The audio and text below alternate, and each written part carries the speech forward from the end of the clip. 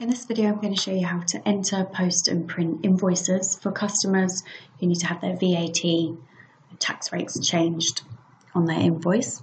So to begin, just the same as the standard entering an invoice, we go Navigator, Adnams, Finance, Accounts Receivable, Invoice Processing, Enter and Revise Invoices. From here, we click the green Add button and we fill out the details as we have done before.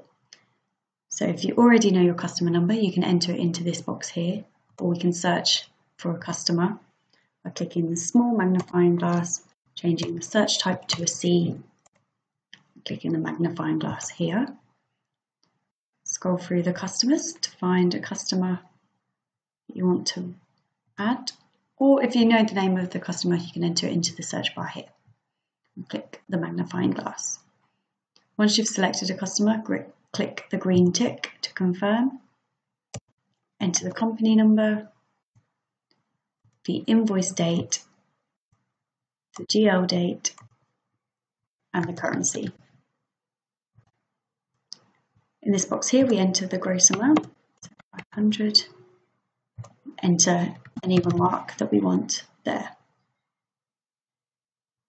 So if we click on the line below, this will show the standard UK tax that will be entered there. So on the line below, I'll show you how to enter one with reduced VAT. So we enter the gross amount, remark, as usual. Then we go into tax area, and here we can enter in the code. There is a post process chart on the training wiki where you can check what tax area code your customer will come under.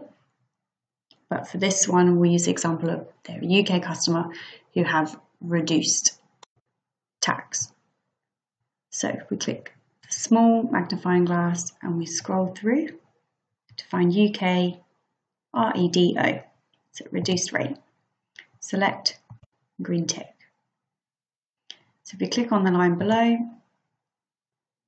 JDE will automatically work out the taxable amount and the tax paid. So another way of doing it is if we enter the gross amount again. So now it pre-populates to the last tax area used. So if we change that back to standard and select. So we may have entered this in, click on the line below, and then we realise that actually need reduced. So you can click on that.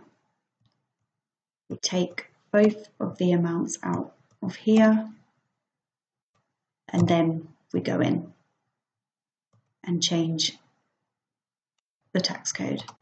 You have to make sure you take out both the numbers that are already pre-populated into these two boxes, taxable amount and tax, as otherwise you'll get a red warning sign. So click on the line below, and there's both of our amounts here. So I'll delete the first row by selecting and click the delete button. Click OK to confirm. They're both on reduced tax there. Then we just complete the invoice as you would with a standard. So green tick to confirm, enter the account number by searching, searching the business unit, and then selecting the GL code you want to select. Green tick to confirm. Click on the row below. The remaining amount is zero. Click the green tick to confirm. And then to post the batch, we exit out of all of the screens, return to the navigator, adnams, finance, accounts receivable, invoice processing, review and post invoice batches. Let's click on there search under our user ID, filling in this box here. Click the search button, select your invoice, right click, post by batch, green tick to confirm. To refresh, you click the search button and then your invoice should disappear as it's no longer unposted, it's been posted. So exit out of the screens.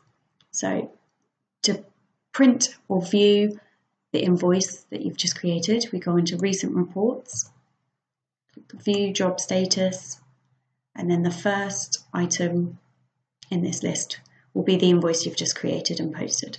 So to print, we click this print icon here, green tick. To view the, the invoice as a PDF, we click View Output here, Downloads. We click on the download to open it. You can view and see what we've just created.